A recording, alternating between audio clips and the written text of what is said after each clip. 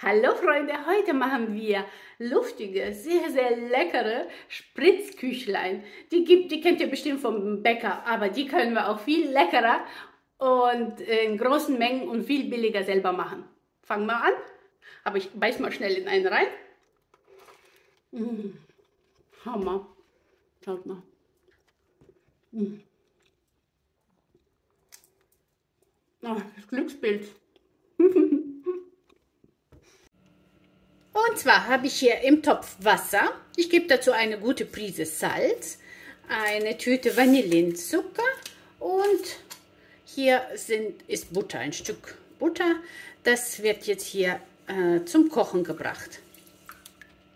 So, schaut mal, es kochte auf, Butter hat sich aufgelöst. Jetzt gebe ich das Mehl in einem Schwung hinein und rühre das ein. Das ist jetzt immer noch auf mittlerer Hitze an, das Ganze. So.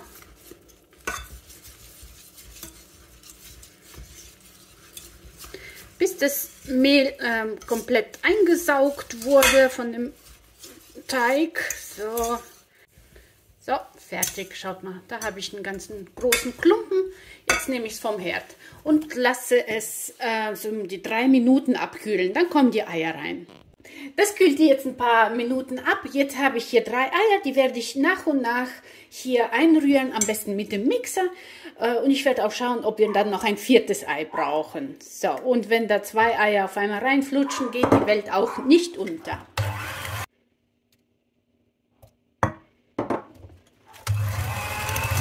Also ich habe große Eier, da hat, haben drei Stück gereicht. Wenn ihr eher kleinere ähm, äh, Sorte habt, dann äh, nehmt bitte vier Stück.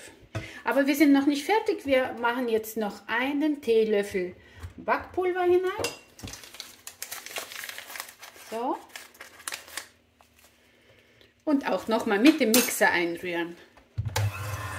Den Teig gebe ich in eine Spritztüte.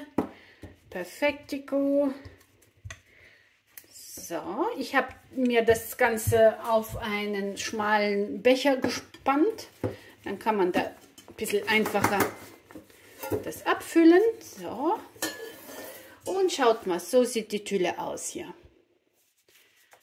Perfekt. Hier habe ich Backpapier äh, geschnitten in schmale, lange Streifen. So.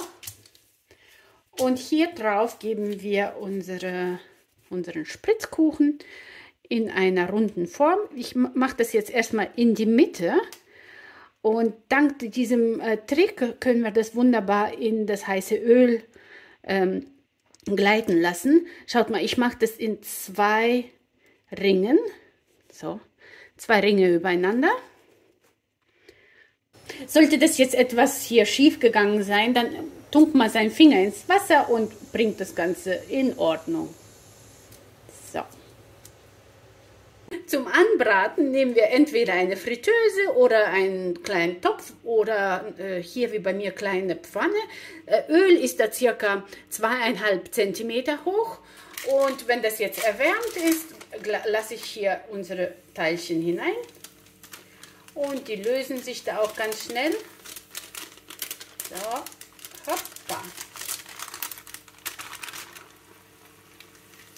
Na, löst euch mal. Okay, die lösen sich gleich. Ich mache schon mal die nächsten hinein.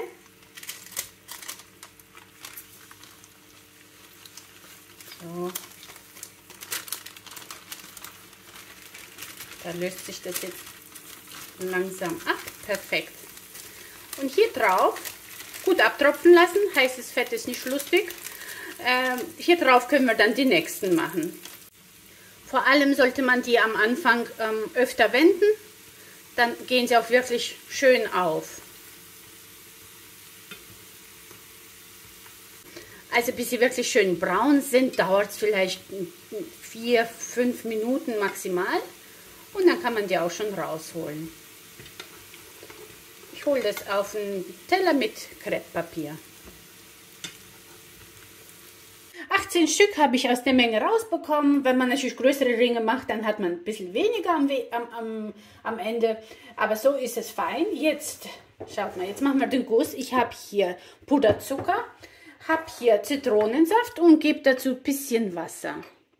So, und das werde ich jetzt hier und wirklich nach und nach hineingeben, nicht zu viel, weil Puderzucker nimmt wirklich äh, einfach das Wasser auf und dann, ja, so, jetzt kann man noch ein bisschen dazugeben. Reicht immer noch nicht, geben wir noch Wasser dazu. Wir brauchen eine Masse, die man einigermaßen gut schmieren kann, aber ähm, die darf nicht zu flüssig werden. Zu flüssig wird das Ganze dann durchsichtig, dann sieht es nicht so hübsch aus. Geht zwar auch, aber hübscher ist es, wenn man so, so eine weiße Masse hat. Äh, ja, so ist es gut, schaut mal. Perfekt. Nun nehme ich die abgekühlten äh, Spritzkuchen, die wunderschönen, und tunk sie mit einem Ende so hinein. Perfekt. Und so kommen die dann auf den Teller zum Festwerden. Nach ungefähr 10 Minuten ist die Oberfläche schön fest geworden und dann kann man die schon genießen. Freunde, die sind so, so lecker. Also ich habe auch schon zwei Stück in den 10 Minuten gegessen. Die sind so lecker. Hier habe ich einen, schaut mal. Da habe ich schon mal reingebissen, ich zeige nochmal. Schaut mal, oh, das ist so lecker. Ich befürchte, also meine größte Sorge ist, dass ich wirklich viel zu wenige für heute Abend gebacken habe. Äh, doppelte Menge wäre schon angebracht. Meine Lieben, ich hoffe, ihr backt es nach. Freue mich über eure Kommentare, freue mich über eure Likes und falls ihr mich noch nicht abonniert habt, dann bitte abonnieren. Abonnieren kostet auch nichts. Vielen Dank und bis bald. Eure Xenia. Mmh.